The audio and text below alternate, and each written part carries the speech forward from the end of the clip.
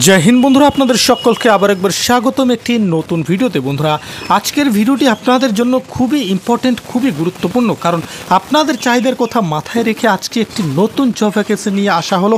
Data entry অপারেটরের post হ্যাঁ বন্ধু ডেটা এন্ট্রি অপারেটর পদে আপনি এখানটায় নিযুক্ত হতে পারবেন। আজকে ভিডিওটি সম্পূর্ণ দেখুন, দেখার পরে স্টেপ বাই স্টেপ আবেদন করুন। কীভাবে আবেদন করবেন, কারা আবেদন করতে পারবে সম্পূর্ণ বিষয় আপনাদের সকলকে জানাব।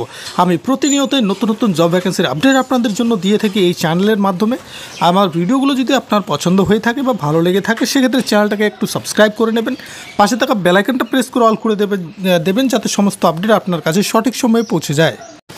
তো আজকের যে ভ্যাকেন্সি রয়েছে সেটা হচ্ছে ডেটা এন্ট্রি অপারেটর আপনার নিজ এলাকায় আপনি এই কাজটি করতে পারবেন। কারা করতে পারবে এই কাজটি অবশ্যই আজকের এই ভিডিওটিতেই আমি সব কিছু বলে দেব। তাই রিকোয়েস্ট করব না টেনে শুরু থেকে শেষ পর্যন্ত দেখুন। আসুন অফিসিয়াল নোটিফিকেশান নিয়ে আলোচনা করা যাক। সবার প্রথমে রিকোয়েস্ট করব আপনাদেরকে, এই পোর্শনটা একটু খুব ভালোভাবে মনোযোগ সহকারে দেখবেন। এখানটায় আবেদন করতে গেলে আপনাদের যে ডকুমেন্টসগুলো প্রয়োজন পড়বে, সেই ডকুমেন্টসের লিস্ট কিন্তু এখানটা বলে দেওয়া রয়েছে। Documents self attested copy to be to be mandatory submitted along with the application যে অ্যাপ্লিকেশন ফর্মটি আপনি জমা দেবেন, সেই অ্যাপ্লিকেশন ফর্মের সঙ্গে এই ডকুমেন্টসগুলো জেরক্স করে সেলফ অ্যাটাস্টেড করে আপনাকে জমা করতে হবে। কি কি ডকুমেন্টস জমা করতে হবে tenth standard examination pass certificate or registration certificate মাধ্যমিক পাশের যে মার্কশিট বা সার্টিফিকেট রয়েছে, সেগুলো আপনাকে জেরক্স করে এখানটায় জমা দিতে হবে ফর্মের সঙ্গে। এছাড়া এছাড়া টুয়েলভ স্ট্যান্ডার্ড মার্কশিট এবং graduation marksheet of final year ঠিক আছে? আপনার গ্রাজুয়েশনের যে মার্কশিট রয়েছে, সেটা কিন্তু আপনাকে এখানটায় জমা করতে হবে। এই যে ডকুমেন্টস এর সাথে সাথে certificate in computer application minimum ছ মাসের ডিউরেশনের একটা কম্পিউটারে কোর্স করা থাকতে হবে এবং আধার কার্ড ভোটার কার্ডের ছবি আপনাকে দিতে হবে।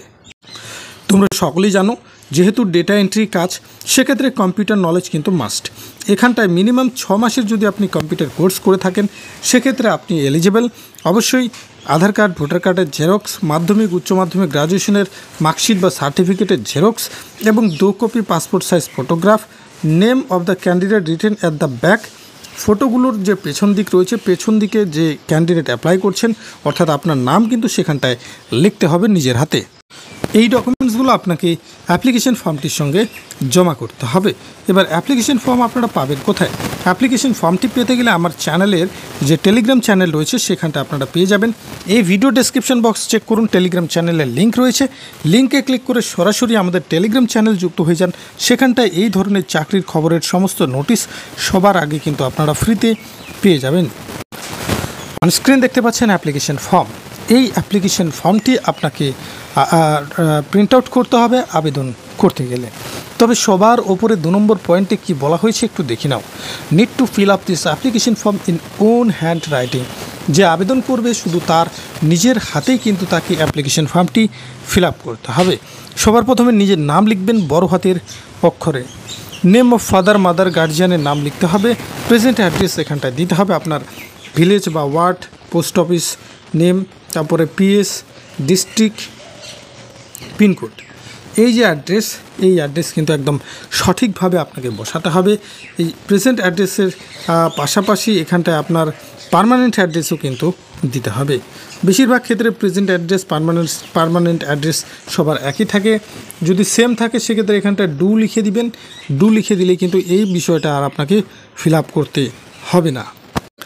এখানটায় আপনাকে আধার কার্ড কিংবা ভোটার কার্ডের নাম্বার লিখতে হবে। এজ এক এক দু হাজার চব্বিশ অনুযায়ী আপনার বয়স কত হচ্ছে? কত বছর, কত মাস কত দিন সেটা বসাবেন। ডেট অফ বার্থ এক, এখানটায় মাস, এখানটায় আর দিন, এখানটায় সাল। সরি এখানটায় দিন, এখানটায় মাস, এখানটায় সাল। এভাবে বসাতে হবে, কারণ ফর্ম্যাটটা বলে দেওয়া রয়েছে। D M M Y Y অর্থাৎ ডেট মান্থ ইয়ার এই ফর্ম্যাটে কিন্তু আপনাকে এখানটা ডেট অফ বার্থ বসাতে হবে। জেন্ডার এখানটায় আপনি মেল না ফিমেল না আদার জেন্ডারের ক্যান্ডিডেট রয়েছেন, সেটা স্পেসিফাই করতে হবে। অর্থাৎ এখানটায় মেল ফিমেল এবং কোনো থার্ড জেন্ডার যদি আবেদন করতে চায়, তারাও কিন্তু আবেদন করতে পারবে। ঠিক আছে?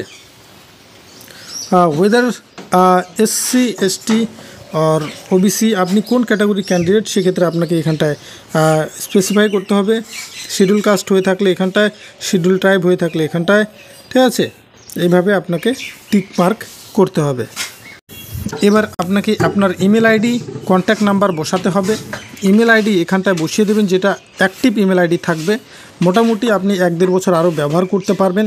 এরকম ইমেল আইডি বসাবেন, কারণ ফার্দার কোনো কমিউনিকেশন যদি করা হয়, সেক্ষেত্রে হয় আপনাকে ইমেলের মাধ্যমে কমিউনিকেশন করা হবে, নইলে আপনার মোবাইল নাম্বারের মাধ্যমে।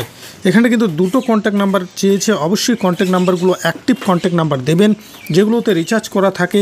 ফোন আসবে, যাবে এস এম আসবে, যাবে, এরকম মোবাইল নাম্বার আপনাকে বসাতে হবে।